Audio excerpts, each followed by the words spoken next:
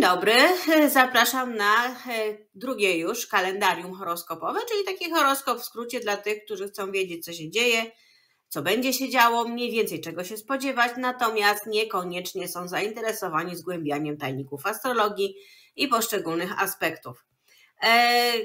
14 e, października no, będzie się działo dość sporo. Mamy tutaj e, aż cztery wydarzenia, e, z których pierwsze będzie odczuwalne najdłużej, bo już od 10 października do 18, ale najbardziej wyraźny będzie ten e, aspekt 14 e, października. Właśnie będzie to sekstyl pomiędzy Pallas a Lilith. Bardzo proszę, Pallas Strzelcu, Lilith Wadze w związku z tym, że będzie on omówiony w e, filmie z e, historiami, który wyemituję, a już w zasadzie wyemitowałam 9 e, października. Dla wszystkich, bo dla wspierających to jest znacznie wcześniej. Spodziewajmy się takiego połączenia mądrości i logiki z odwagą wyrażania tłumionych tęsknot a to sprzyja takiej pomysłowości i e, samoakceptacji. E, więcej na ten temat e, w tym filmie o trzech historiach, gdzie jest historyjka obrazująca działanie tego aspektu. Aspekt jest ciekawy, wart uwagi, dlatego jest o nim historyjka. Kolejnym aspektem tego dnia, który będziemy mieli, żeby tego nie zaciemniać, to to sobie znikniemy, to będzie opozycja Słońca do Chirona.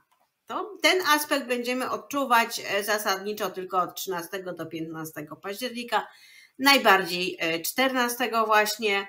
No to jak wiecie już opozycja to jest aspekt napięciowy. Takie będą nam się przydarzały sytuacje, E, prowokujące konfrontacje z bolesnymi ranami i trudnymi emocjami e, dotyczącymi poczucia tożsamości i samooceny. Tak, czyli coś się wydarzy, co nam przypomni, że kiedyś źle o sobie myśleliśmy, bądź nadal myślimy z jakiegoś powodu, z powodu jakiegoś wydarzenia, które było dla nas trudne, bolesne, e, w jakiś sposób może czuliśmy się wtedy bezradni i to poczucie gdzieś tam sobie nadal się odzywa. E, przejawia się to takim e, wewnętrznym konfliktem między potrzebą wyrażenia, wyrażenia siebie, a tymi właśnie głęboko zakorzenionymi lękami, e, stąd takie uczucie niepewności i wrażliwości. Inaczej mówiąc, coś będzie nas powstrzymywało przed tym, żeby robić to, co byśmy chcieli. Bo będziemy się bali, że ta sytuacja, która wtedy była przykra, czy spowodowała jakiś ból, zwykle to taki był ból duszy, że ona się powtórzy, jeżeli zrobimy to, co byśmy chcieli, jeżeli zrobimy to, co jest zgodne z naszą naturą. E, choć aspekt bywa wymagający, e, oferuje szansę na znalezienie e, mądrości w trudnych doświadczeniach i wzmocnienie siebie poprzez przepracowanie właśnie tych wewnętrznych ran, czyli zastanowienie się, co mogę zrobić, żeby to już mnie nie bolało? Może kogoś poprosić o pomoc, może po prostu z kimś porozmawiać, może sobie to po prostu napisać. E, są różne formy, a to jest dobry czas, ten dzień, szczególnie ten właśnie, 14 październik, na to, żeby jakąś godzinę czy dwie na coś takiego poświęcić, szczególnie kiedy będzie właśnie sytuacja, która nas do tego sprowokuje. E, mamy też e, coś e, optymistycznego. 14 października ten aspekt będzie się przejawiał też od 13 do 15, ale 14 trzeba brać pod uwagę najbardziej. To będzie, znowu tutaj wyrzucimy, ale to będzie nadal Słońce, z tym, że w tym wypadku w trygonie z Jowiszem. Trygon cztery znaki, tak 120 stopni. To ta niebieska kreska. E, to z kolei jest e, aspekt, który nam będzie dzień rozjaśniał zdecydowanie. A ponieważ e, od razu powiem, no tak, bo jest taki i taki i taki i tak, ale to są aspekty o dość wąskim spektrum. One w życiu każdego z nas mogą się przejawić przez godzinę, dwie, góra trzy, a w niektórych wypadkach w ogóle nie zostaną zauważone, jeżeli w waszych kosmogramach te planety akurat niczego nie dotykają osobistego E, więc wtedy no po prostu sobie będą e, jako takie tło mm, dla Was.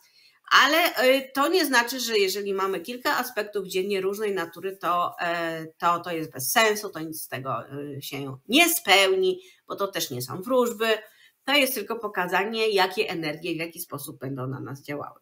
A wracając do tegoż właśnie trygonu Słońca z Jowiszem, który jest przyjemny, niesie ze sobą optymizm, e, wzmacnia pewność siebie i takie e, poczucie obfitości. Mamy takie wrażenie, że cieszymy się z, tym, co, z tego, co mamy. Fajne uczucie, bardzo dobre, takie właśnie e, takie cieszenie się tymi małymi rzeczami, no bo przecież wszyscy mamy tylko małe rzeczy, do wielkich dążymy przez całe życie.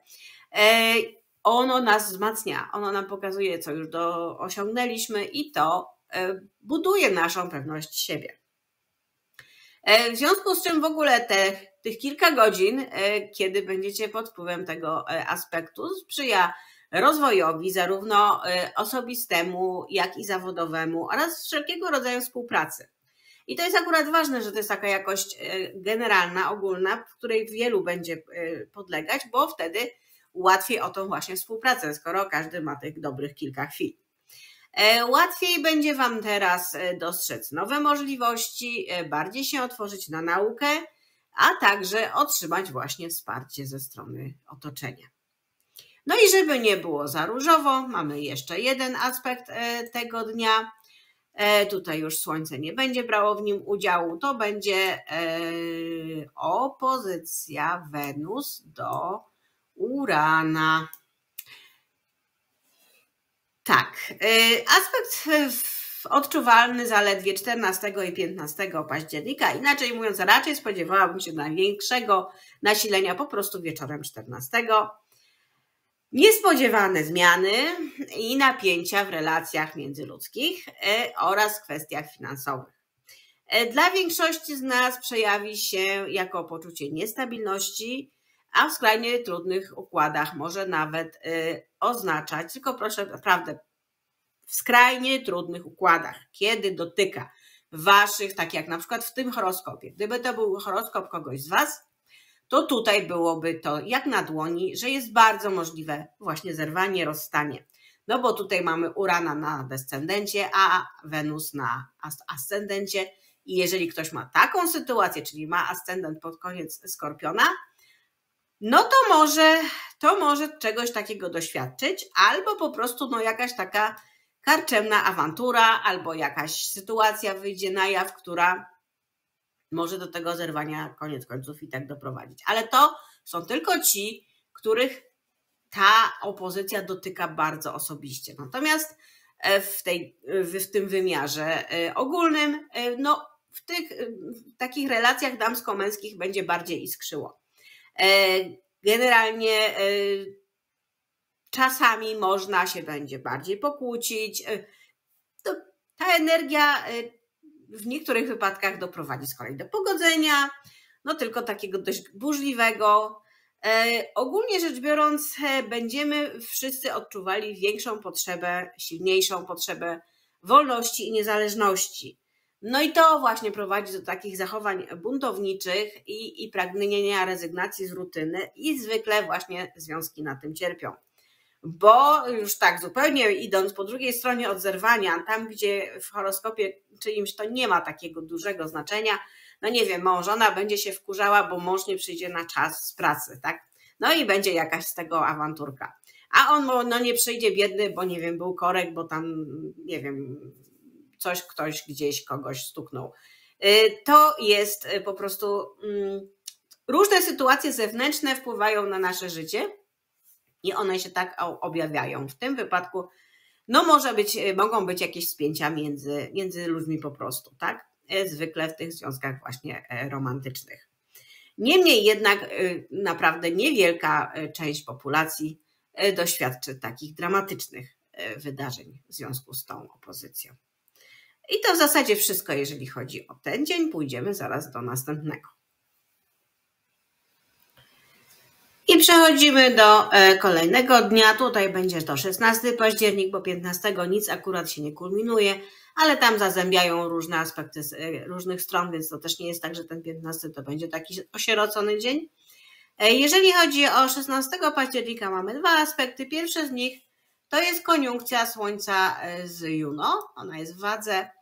E, podkreśla znaczenie związków osobistych i spółek takich w interesach, a więcej o tym w osobnym filmie poświęconym temu aspektowi w całości. On się ukaże 12 października, a dla wspierających już jest. E, dlatego nie będę się tutaj nad nim e, rozwodzić bardziej.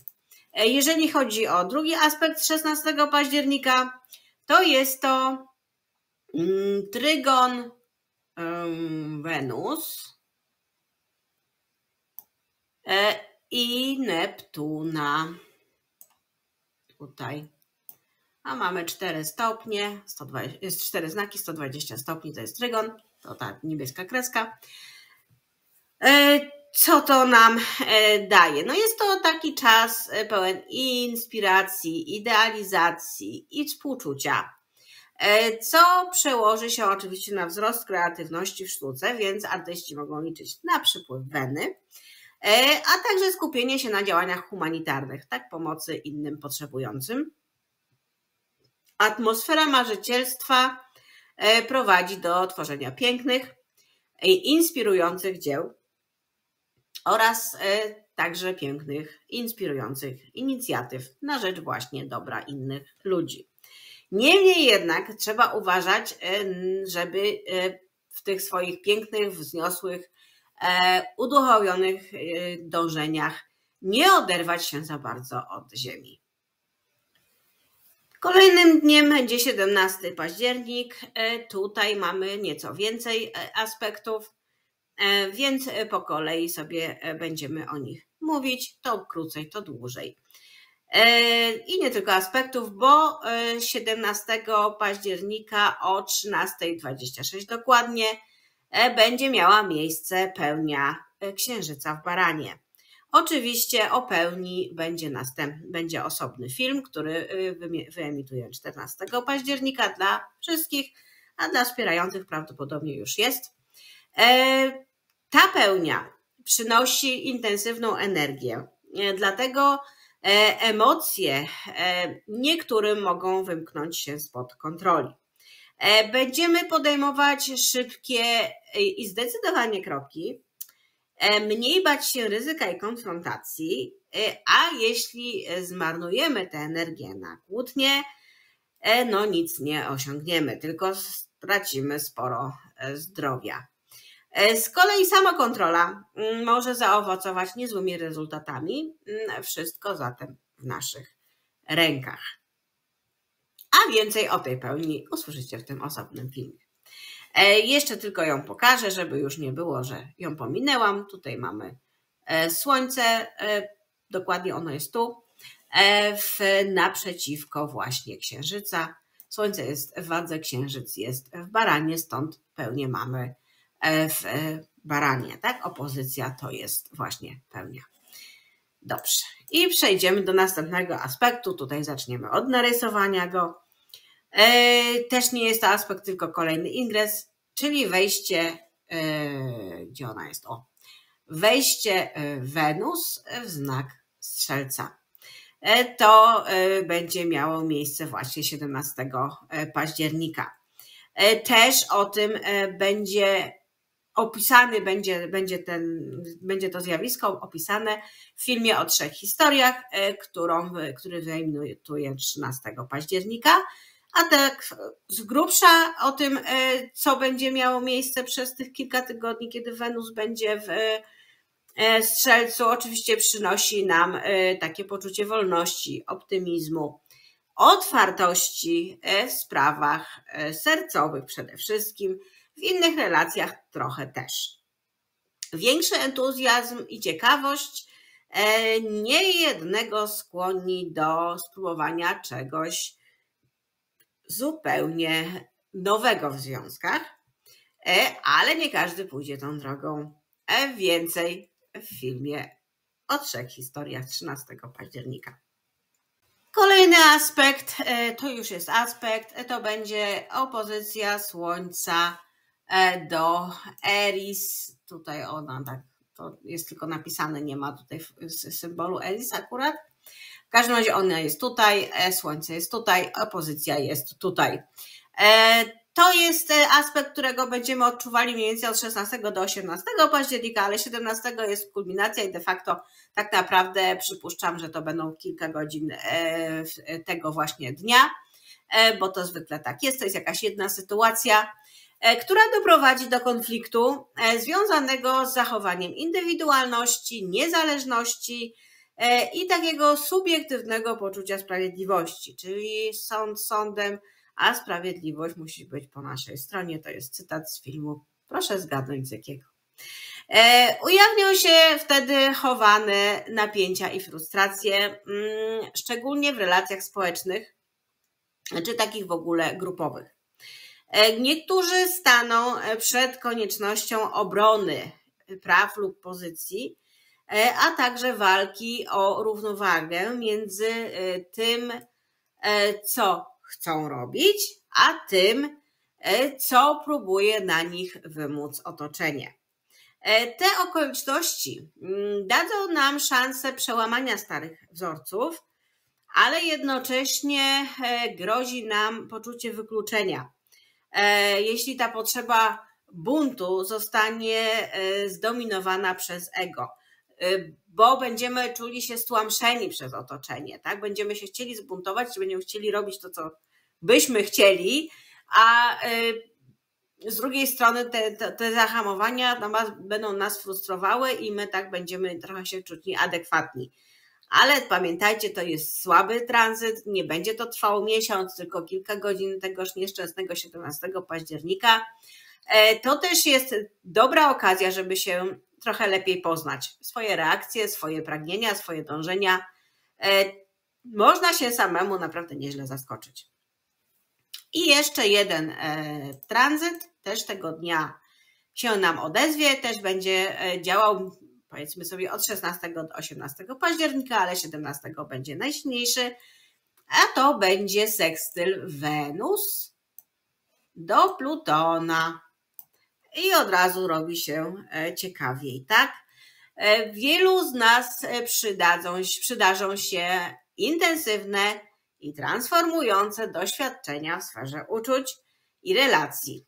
Mm, ich celem tych doświadczeń będzie pogłębienie więzi e, i wprowadzenie większej autentyczności w związkach e, w celu takiego lepszego obopólnego zrozumienia.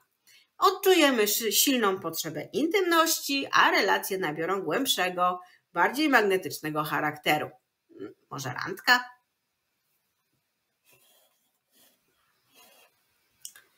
I przechodzimy do 18 października, kiedy tam będzie tylko jeden aspekt. On będzie odczuwalny między 15 a 21, ale ten 18 będzie taki najbardziej wyraźny.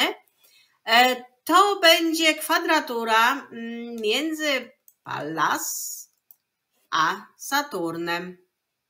E, trzy znaki, 90 stopni, kwadratura, tutaj czerwona kreska.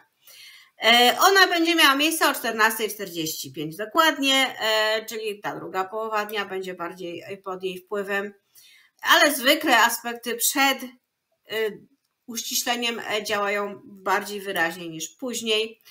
W każdym razie znajdziemy się w sytuacjach, które wywołają napięcia między potrzebą struktury, dyscypliny, a kreatywnymi rozwiązaniami problemów. E, więcej na temat tego aspektu dowiecie się e, z filmu o trzech historiach, e, których jedna właśnie będzie dotyczyła tego aspektu. On pojawi się 13 października. Chętnych zapraszam. Kolejny dzień, kiedy mamy coś istotnego, to jest 19 październik. Tutaj mamy mm, trygon Westy z uranem. Gdzież jest nasz uran? Tu. Akurat uran to jest przy okazji z księżycem dokładnej koniunkcji. E, dodam coś o tej konkretnej, e, że tak powiem, funkcji w tym wypadku. W każdym razie, ogólnie rzecz biorąc, Westa, Trygon, Uran e, to jest taki czas, kiedy bardziej innowacyjnie podejdziemy do poświęcenia i zaangażowania się w ważne dla nas sprawy. Więcej na temat istoty samego tego trygonu między Uranem a Westą w filmie o trzech historiach 13 października on się ukaże.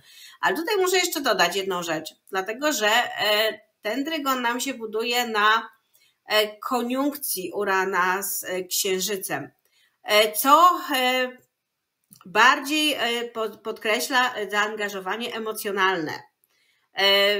Dlatego osoby szczególnie silnie wrażliwe, silnie uczuciowe, bardziej podlegać będą temu tranzytowi, więcej będą go wyczuwać w taki sposób bardziej dosłowny, można powiedzieć, taki bardziej wyraźny.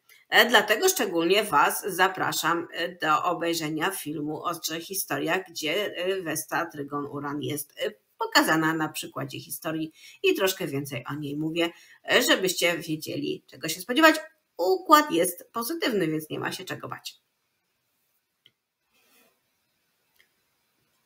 20 października będziemy mieli też jeden tranzyt, jeden aspekt. E, to będzie 9 e, minut po północy nastąpi uściślenie opozycji między Juno i Eris. Panie staną naprzeciwko siebie. Znaczy Juno to tak nie do końca, to różnie, ale dobrze. Panie staną naprzeciwko siebie. E, aspekt będzie odczuwalny między 17 a 23 października, ale tego 20 wieczorem będzie najsilniejszy. E, pojawią się napięcia i konflikty, jest to opozycja e, w związkach oraz partnerstwach, spółkach, e, zwłaszcza związane z niezależnością i rolami w tej relacji. Czy to jest relacja osobista, czy biznesowa? Nie ma znaczenia. Więcej na temat tego aspektu mówię w filmie z trzema historiami opublikowanym, który będzie 15 października. Dla wspierających pewnie już jest. Warto się pokusić i więcej dowiedzieć, a jak ktoś nie chce, no to tylko tyle. I doszliśmy do 22 października, kiedy to obrodziło nam w różne e, wydarzenia astrologiczne. E, zaczniemy od kwadratury między Marsem mm, a Eris. Ta kwadratura będzie miała miejsce bardzo wcześnie, bo o 1.23 22 października jej odczuwanie możemy zaobserwować już od 19 do 24 października, ale najsilniejsza to będzie ten 21-22. E, znajdziemy się wtedy w sytuacjach e, wywołujących napięcia bądź konflikty e, wynikające z potrzeby walki o swoje prawa i sprawiedliwość. I też Y, niezależność. Wszelkie próby ograniczenia naszej wolności lub niesprawiedliwość właśnie spowodują naszą frustrację, e, bunt i impulsywność. E, aspekt ten sprzyja e, konfrontacjom, które mogą prowadzić nawet do gwałtownych starć. To już zależy, kto jest do czego predestynowany, choć niektórzy mogą się sami zaskoczyć. E, ale także e, do momentów przełomowych, e, gdy opór zmusza do działania i wprowadzenia zmian. Czyli to jest tak, że dochodzimy do tak zwanej ściany, kiedy już dłużej nie możemy, nie wiem, udawać, oszukiwać się. I, dzieje się coś, co w gruncie rzeczy, tak z perspektywy życia, nie ma żadnego znaczenia, ale wywołuje w nas taką, a nie inną reakcję, która prowadzi później do takich, a nie innych decyzji, posunięć, czasem nawet bardzo poważnych. Też oczywiście zależy, jak bardzo z waszymi osobistymi punktami w kosmogramach te e, planety, planeta i planetoida mają e, związek, e, im bardziej to was osobiście dotyka, tym, no, tym bardziej w waszym życiu się przejawi. Niemniej jednak ta jakość powietrzu będzie e, generalnie obowiązywała w tym czasie. E, I wystarczy drobna iskierka. E, następnym aspektem, który chciałabym tutaj w zasadzie wymienić, to jest opozycja. Mm, gdzie ona jest? O. Opozycja Wenu, Westy do Neptuna. To są naprzeciwko, tak? Opozycja. E, ona będzie miała miejsce o 11.37 tego 22 października. Jej odczuwanie tak mniej więcej od 20 do 24, ale no najsilniejsza będzie jednak tego 22, tym bardziej, że jest tak po środku dnia. E, będziemy teraz musieli e, wybierać między tym, czemu chcemy się poświęcić, a marzeniami i iluzją. No to jest wcale nie taki prosty wybór. Więcej na temat tego aspektu i jego zrozumienie ułatwi Wam historia, oczywiście w filmie z trzema historiami, który ukaże się 15 e, października. E, kolejnym aspektem, który tutaj będziemy mieli 22 e, października, będzie kwadratura Słońca do Plutona. Ona też będzie odczuwalna między 21 a 23, ale tego 22 też bardziej przez, tak powiedzmy sobie, przez ten dzień bardziej da nam się we znaki, no niestety kwadratura.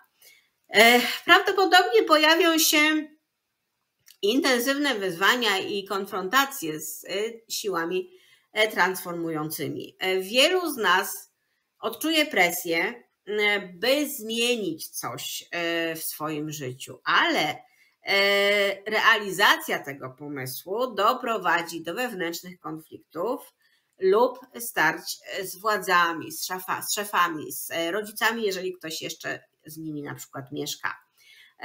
Z tymi ludźmi, którzy w jakiś sposób wpływają na nasze życie, którymi w jakiś sposób musimy, którym musimy się podporządkować, których musimy się słuchać. E, to ta jakoś sprzyja przełamywaniu starych wzorców, ale często wymaga właśnie e, stawienia czołom, czoła ukrytym lękom, e, manipulacją czy takim próbom sił. Czasami to jest ten moment, kiedy chcemy się wyzwolić, nie w sensie takim, żeby odejść od kogoś, kto nad nami ma taką władzę, ale w takim, żeby się jakby z nim spróbować, tak, żeby mu też pokazać, że my nie jesteśmy taka ostatnia pierdoła e, i, i sobie nie damy e, w kaszę dmuchać.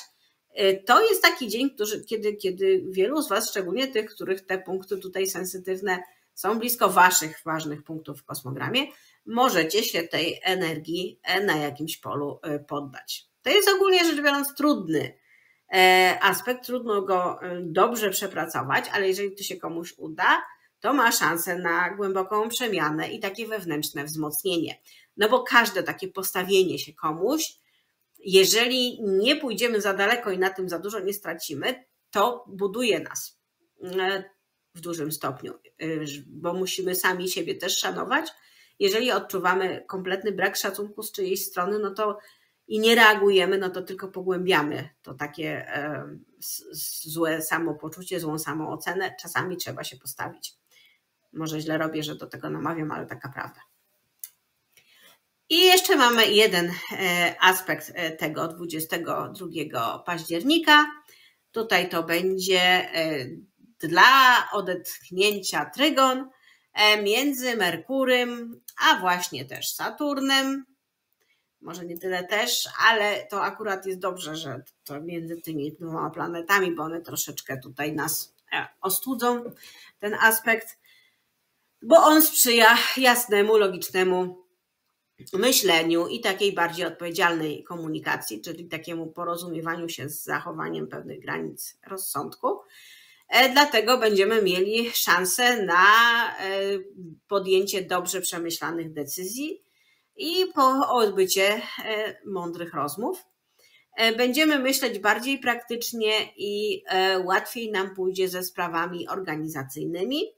Jak już tam się pokłócimy z tymi szefami, z tymi autorytetami, bo ten aspekt będzie późniejszy raczej, bo on tak 21, 22, ale on tak mm, no nie będzie w samym czasie. To u każdego to się będzie w innych, że tak powiem, godzinach przejawiało. E, w każdym razie to jest dobry moment na długoterminowe planowanie, skupienie się na szczegółach i rozwiązywanie problemów wymagających cierpliwości. No i to będzie dość trudne, jak komuś się jednakowoż coś tam ponakłada, bo z jednej strony mm, cierpliwość, ale ta cierpliwość będzie taka bardziej związana z myśleniem i z komunikowaniem się. Natomiast ta kwadratura do Słońca to jest bardziej z takim mm, pokazaniem swojego ja. To jest troszeczkę co innego. Czasami trudno to jest pokazać, ale, ale mm, to jest różnica między Merkurem a Słońcem, jest różnica. Tak czy inaczej, ten aspekt sprzyja bardziej konstruktywnym rozmowom, które prowadzą do konkretnych rezultatów. 23 października mamy tylko jedno zdarzenie astrologiczne, ale całkiem ważne, szczególnie dla urodzonych ze Słońcem w znaku Skorpiona, bo ono właśnie wraca do Waszego znaku. E, o godzinie 0,15 dokładnie tego 23 października Słońce sobie, e, gdzież ten Wasz Skorpion od tutaj Słońce sobie wejdzie właśnie w znak Skorpiona. Oczywiście e, ta, ten fakt zostanie jak najbardziej uwzględniony i bardziej opowiedziany w filmach z trzema historiami, E, który wyemituje 15 października. Teraz tylko nadmienię, że jest to czas głębokiej transformacji, intensywności emocji i koncentracji na wewnętrznych przeżyciach. E, nas wszystkich, nie tylko tych, którzy mają słońce w skorpionie. E, natomiast, no oczywiście dla Was w prognozie miesięcznej życzenia urodzinowe każdy dostanie. 24 października też mamy tylko jeden aspekt i to będzie e, sekstyl e, Merkurego e, do Ceres E, która, który będzie miał miejsce dokładnie o 7.59 tego właśnie dnia. On będzie odczuwalny niby od 23 do 25, ale to już tylko dla tych, którzy bardzo tutaj mają coś osobistego, bądź to w punkcie Ceres, bądź to w punkcie Merkurego. Tak ogólnie rzecz biorąc, no to raczej pierwsza połowa 24 października to będzie ten czas, kiedy odczujemy większą empatię i łatwiej nam będzie wyrazić komuś wsparcie E, zwłaszcza w sprawach dotyczących e, rodziny, opieki i takich codziennych e, obowiązków. Warto na ten dzień zaplanować rozmowy o zdrowiu, warunkach i organizacji życia, bo w ten sposób wzmocnimy relacje z bliskimi.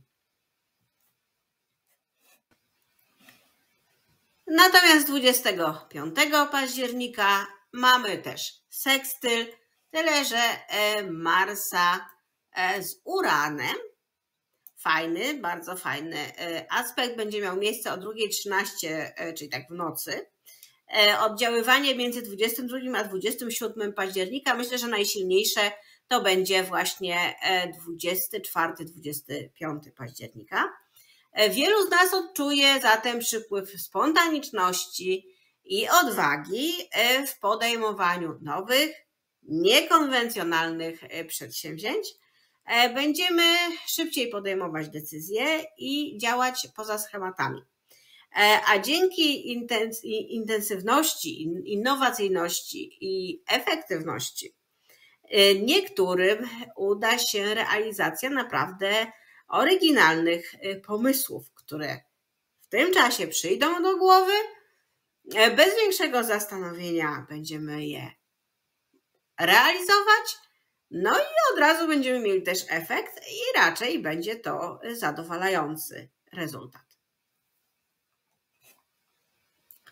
Z kolei 11 października e, trygon Westy, gdzież ta nasza Westa jest? O. E, z Plutonem. Nie zabraknie nam dzięki temu wytrwałości ani skuteczności, e, dlatego dobrze na ten dzień zaplanować zadania najbardziej wymagające. E, szczególnie na drugą połowę dnia, bo o 16.52 on będzie miał e, dokładnie się uściśli, chociaż odczuwalny ma być między 24 a 28 października, to jednak radziłabym się skupić na końcówce 26 względnie poranku 27. Więcej o, o tym aspekcie i łatwiej, że tak powiem, żeby go zrozumieć, w filmie z trzema historiami, który ukaże się 22 października. Zapraszam.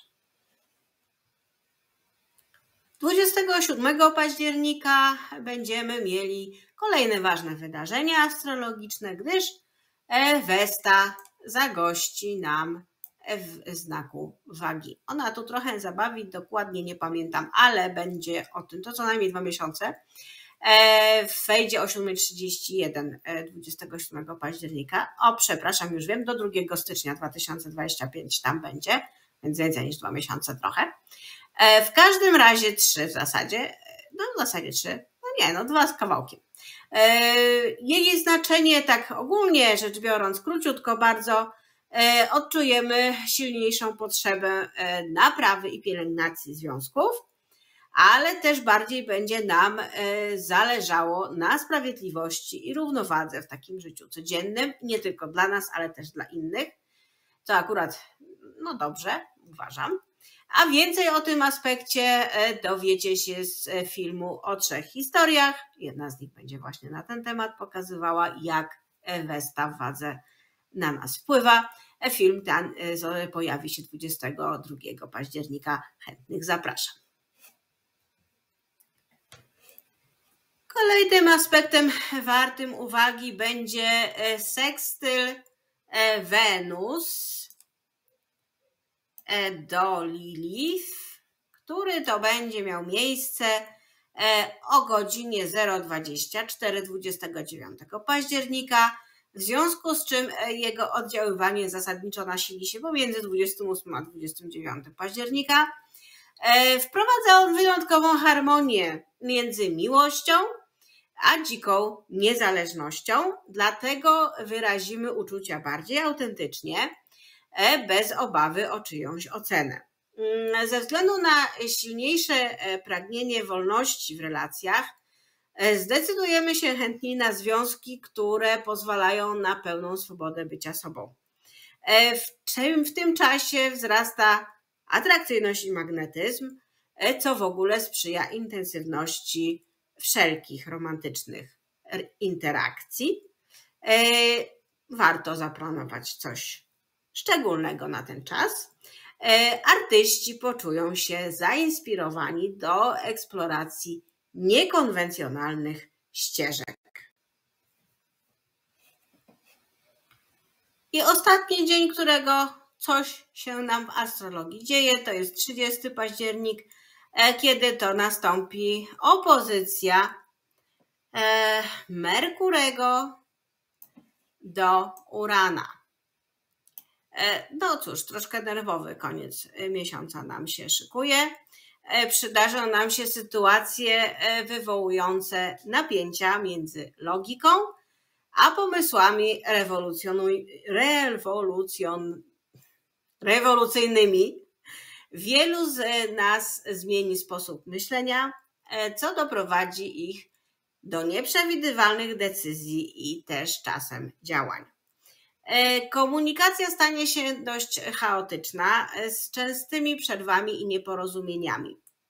Też możliwe jest większa ilość wypadków komunikacyjnych albo jeden taki no bardziej spektakularny, może bardziej e, dramatyczny. Raczej niespecjalnie jakaś wielka katastrofa. Mm, no bo tutaj nie ma Plutona, jest sam Uran, ale do parę osób może ucierpieć jakaś troszkę większa grupa niż zwykle. E, poza tym e, większa potrzeba wolności intelektualnej spowoduje konflikty z władzami i wszystkim tym, co się wiąże e, z tradycją. E, no, mogą być jakieś zgrzyty na polu właśnie um, ścierania się, a już bardziej słownego e, z jakimś tradycyjnym punktem widzenia. To wszystko, jeżeli chodzi o kalendarium, drugą część na październik. Mam nadzieję, że ta forma mm, znajdzie swoich odbiorców, tych, którym się zawsze śpieszy, którzy nie chcą się w nic zagłębiać, a chcieliby tak z grubsza się dowiedzieć, co dalej. E, bardzo proszę o. E, dziękuję tym, którzy już się zdecydowali na wspieranie kanału i też bardzo proszę o większe wsparcie e, tym, którzy nie lubią guzików, wspieraj ani podziękuj. Oferuję opis w opisie numer konta albo po prostu blik na telefon. no to jest potrzebne do tego, żebym mogła dalej funkcjonować na YouTube. Dziękuję wszystkim subskrybentom, zapraszam następnych. E, wszystkie lajki na wagę złota, bardzo proszę o kolejne komentarze, szczególnie takie pisane odręcznie, a nie wklejane jako formułki, bo te nie podobają się botom i potem e, ja mam ucinane zasięgi, wy macie blokowanie możliwości komentowania, no więc lepiej tego nie robić. Zawsze coś lepiej napisać, może trochę nie do końca na temat e, filmu, który komentujecie, ale żeby to było takie spontaniczne. Powiadomienia można sobie ustawić e, za każde udostępnienie na Waszych mediach społecznościowych. Też dziękuję za to, co już miało miejsce i za to, co się jeszcze wydarzy. E, do zobaczenia w następnych filmach.